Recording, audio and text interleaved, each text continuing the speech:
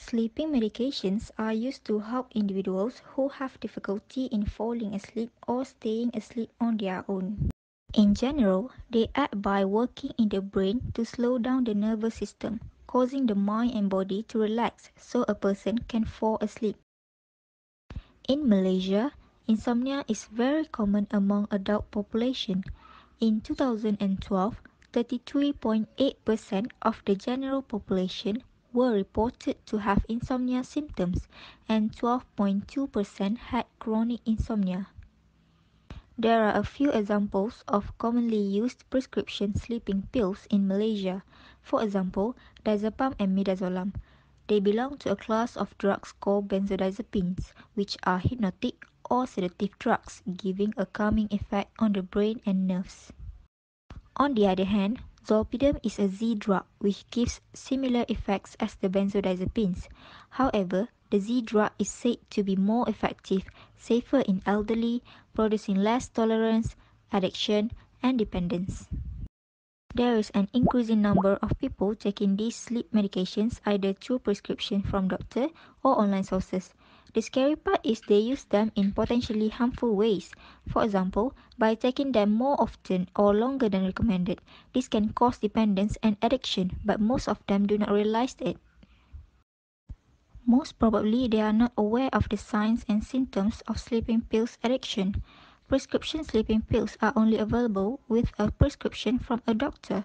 People who are addicted to it might get it from online sources.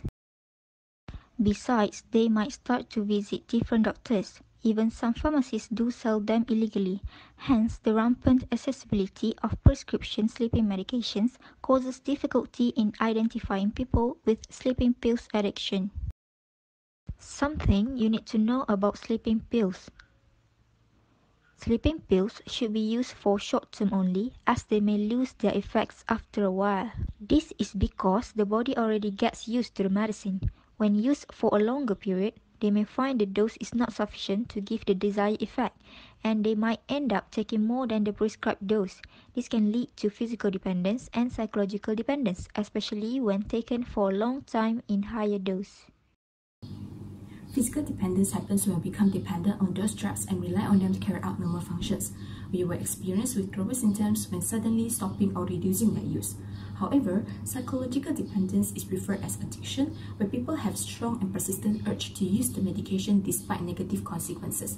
When this happens, it may be difficult for them to stop taking the medications, as they usually do not realize they have become dependent or possibly addicted to their sleeping medications until they stop taking it.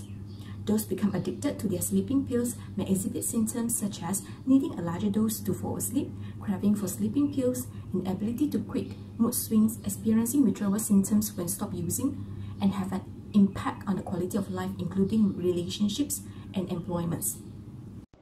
What should you do if you're taking sleeping pills and having the symptoms mentioned above? Seek medical help from the healthcare professionals. Do not stop the medication abruptly as you may experience withdrawal symptoms. How can you manage sleeping pills addiction? Gradually reduce the dose of sleeping pills with guidance from the healthcare professionals. Practicing some tips to sleep better. These include relaxation techniques such as meditation, exercise regularly, and recognizing and avoiding the stimuli that prevent sleep such as television, computer, or smartphone screens.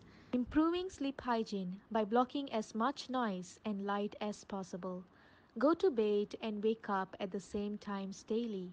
And dietary changes such as avoiding alcohol, caffeine, and foods that promote acid indigestion.